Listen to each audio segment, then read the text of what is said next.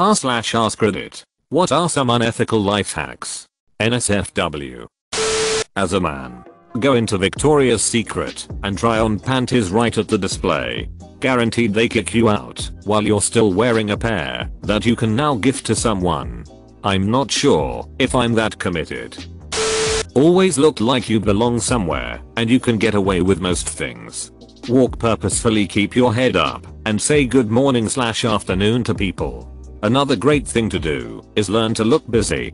People will always leave you be if you look busy. Tried to do this in New York City, so we didn't look like tourists.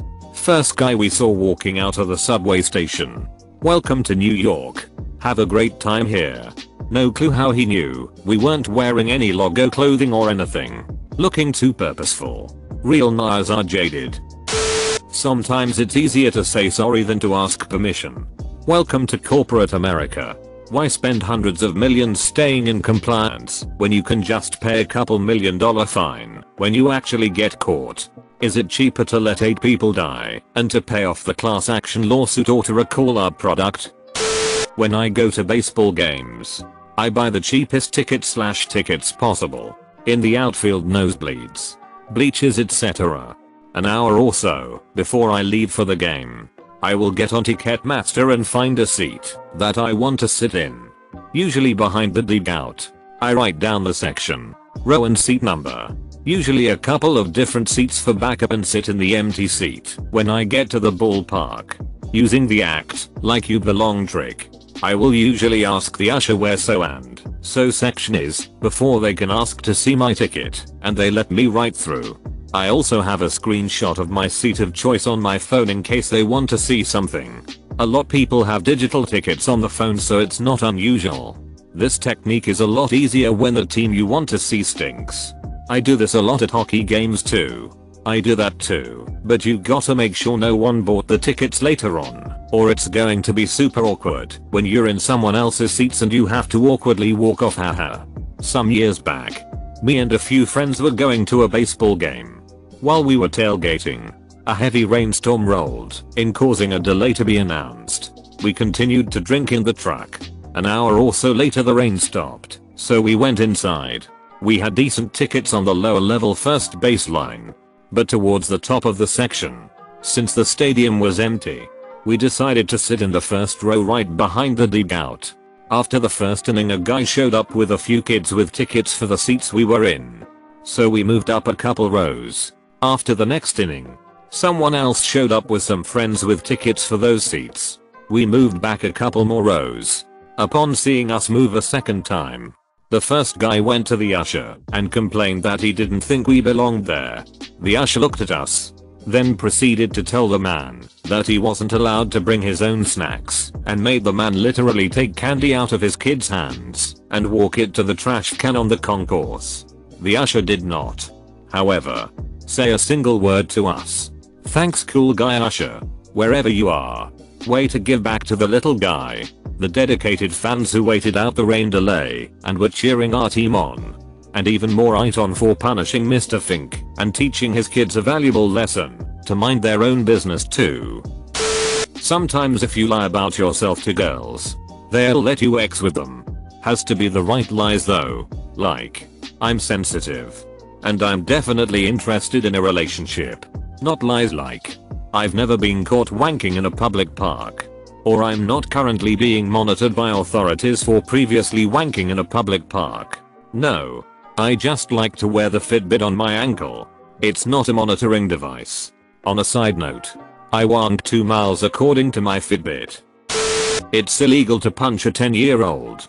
It's probably not illegal to pay another 10 year old to punch the 10 year old. Edit okay I get it. It probably is illegal. But is it legal to pay a 10 year old to keep his mouth shut? While 10 year old isn't responsible in most countries. Paying to get someone beaten is. But who are the cops gonna believe?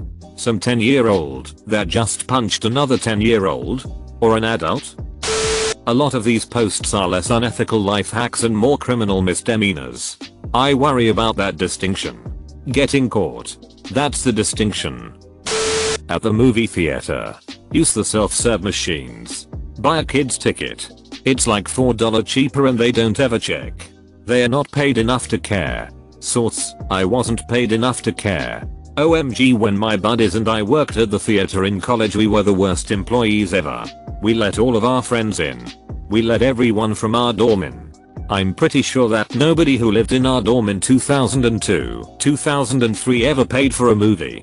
We'd let in all the people who worked in the mall food court, and they'd steal food from their workplaces and give it to us in return. We would get hit housed on our dinner break at the Red Robin across the mall parking lot. We'd order one order of fries to split between like 5 dudes, bottomless fries. Right? Then we'd slam like 4 20 ounces each and finish it off with a shot of Rumple Minze because it made your breath smell like toothpaste. Sometimes we'd get a set started and then just go to the bar on the clock. One time we were joking about it while at the bar and the bartender was like, are you guys getting drunk on the clock? And we were like duck yeah. And he was like what does your boss think about that? And I said why, don't you ask him, he's right there he was getting drunk with us. We used to bring gallon jugs of Carlo Rossi wine, we called them boom jugs and pour it into cups from the concession stand and stand there drinking while we took tickets. One of our guys did coke in the projection booth once, and when asked why, pointed out it was his roommate's birthday, his roommate didn't even work with us. There were two gay dudes who were dating, and they ducked behind the screen all the time. We used to smoke pot on the roof. God I could go on and on.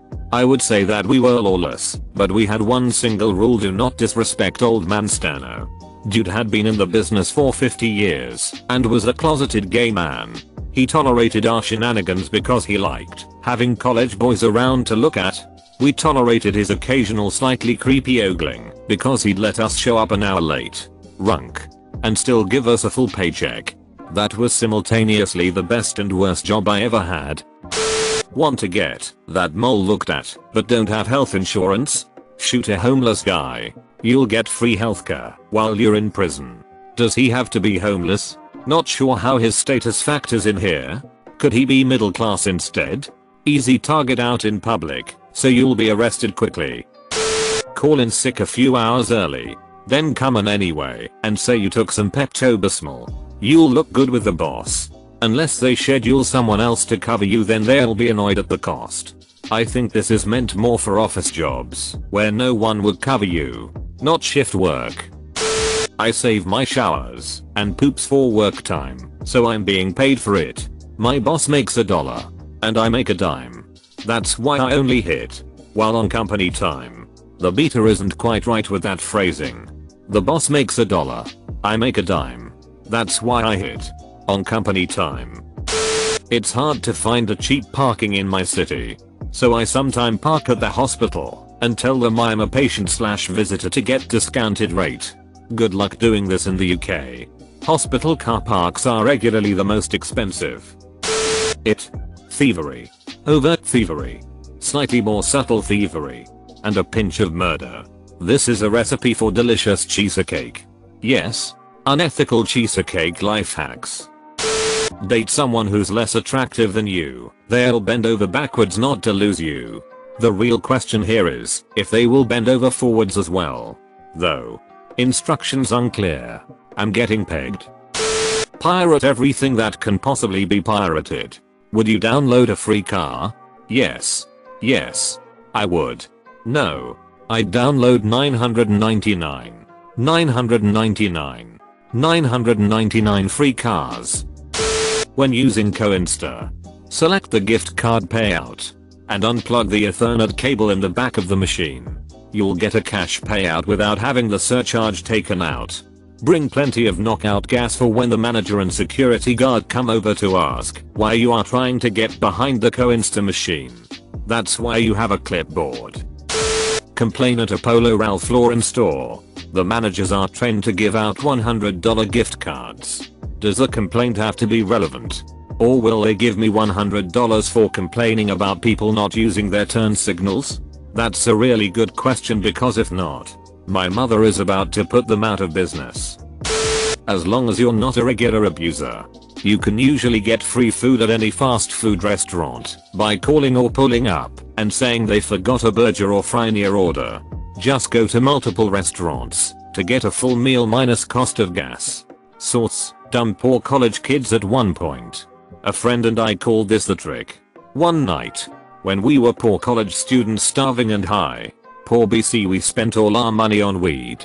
We did a restaurant tour. We hit up every single fast food place. It was a feast. And amazing for a starving 19 year old. Also, if you pay bills and buy food before buying drugs, you can live. Do you find that laws keep getting in the way of your business profits? Hire lobbyists to change those laws in your favor. Or just buy the politicians outright. Or just become president. Apparently. But but make America great again drain the swamp build the wall. On a serious note. Why people think Trump will help us is crazy. I've seen people here on Reddit saying we took our country back. Yeah and gave it to someone who is probably going to maximize his company and other companies profits thanks to you. I still have hope that I will be completely wrong and Trump will actually help Americans, but I can't really see that happening the way he does things right now. In a fight you know you're going to lose, get naked. No one wants to fight a naked guy. This is a life hack I've heard and in turn passed on to others. Do with it as you will. Reddit. I wouldn't call it unethical though. Need money? Set up a GoFundMe or something. Claim you have terminal cancer and ask for donations for the treatment you can't afford. I really hate GoFundMe right now. I have a neighbor who is a drug dealer and she got beat up super bad and is in the hospital. Her daughter set up a page and they have been getting mad money. Like, where is your drug money to pay for this? I know two people who are trying to use it to fund their unrealistic life goals. One is trying to afford a study abroad ballet program in Russia and the other is trying to afford a yoga instructor certification. I suppose being a yoga instructor is not such a pie in the sky thing. But still, everyone has their own bills and can't afford nice things for themselves. Including education. And you're hitting up your friends and family for this? I hate my gym. But it's the only one in my area. So I steal their paper towels. I haven't bought them in years. I used to take towels from my gym. I'm going to hell. If anyone is going to hell it is LA Fitness. Buying up all the smaller local gyms and then closing the location. Work. Want to leave your desk for an extended period? Have a decoy wallet. No one would leave their wallet on their desk. So anyone who is looking for you will assume you are nearby. I skipped half days at the office this way. Went home and napped. My boondoggle at the Beijing Olympics. I came into work and made sure a few people saw me. I opened my laptop and spread a few papers around in my work area. I then walked back to the hotel. Took a 2.5 hours. Drive to the Great Wall. Spend 2.5 hours there and 2.5 hour trip back. I took a shower put my work clothes back on, walked back into work, and found my supervisor and said, well, that's about all I'm going to get done today. He said, okay, see you tomorrow. If you want to steal from a mall or a supermarket have someone run out the building while you're walking out of it at the same time and if the alarm goes off 9 tenths times the security guard will chase the person running. If the item is concealed just act confused. They are not going to strip search you. And they can't detain you without opening the company up to expensive lawsuits. You should really say what country you're in. In the UK this does not fly. If you're gay, date someone who is the same size as you. Doubled your closet. Not gay. But I'm seriously considering moving in with my girlfriend of 5 months just to get my hands on one of her guitars, which happens to be my all time dream guitar. Do it. I heard an urban legend that goes like this. Guy goes to dental school on student loans. Graduates and applies for a boatload of credit cards. Uses the cards to pay off the loans. His debt is now in multiple pieces at an unsustainable interest rate. He applies and qualifies for bankruptcy. He now has a black mark on his credit report for 7 years. Instead of decades worth of loan payments. Even if that worked, it would definitely meet the definition of bankruptcy fraud. Yes. America. Where you can declare bankruptcy for living a lavish lifestyle you can't afford. But not for trying to get an education. Guy I work with tends to get his way and get ahead 99% of the time by immediately being as openly aggressive as possible in any discussion or disagreement. Most people don't expect it. are thrown completely off balance and just do whatever they can to get away from the situation as soon as possible. He balances this by being a total kiss ass to the people in charge. But, yeah. He gets his own way most of the time, but everyone he works with wouldn't piss on him if he was on fire. I work at a small individually owned business, and every once in a while someone tries that. And it doesn't work, because this isn't ducking Walmart. I actually enjoy arguing back. Love it. I'm a small business owner. Somewhat jaded and probably don't care as much, since I've been running the biz for so long, and I'm financially secure. I have stopped giving any ducks when dealing with asshole customers. The customer is always right. Wrong. Duck you. Some people. You can just tell they must treat everyone like it. I dish it right back, and do it sure is satisfying. I only do this over the phone. Though. Never over email. Learn that lesson. Caught in the rain without an umbrella? Walk into any front desk. And say that you forgot one. When they ask when, just say last time it rained. Where? Just say you don't remember. And if they ask what kind, just say the normal ones. Black. Small one. I've gotten 3 umbrellas that way. Who buys an umbrella anyway? You can get them for free at the coffee shop in those metal cans. Those belong to people. Ducking like and subscribe.